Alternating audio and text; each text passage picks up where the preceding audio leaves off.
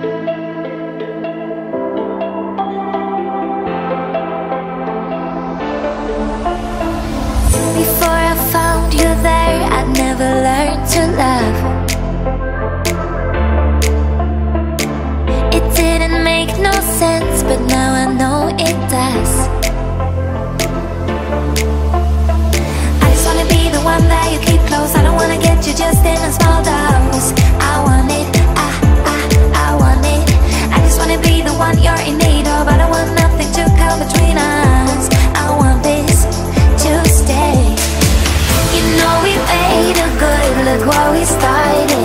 You know we wait.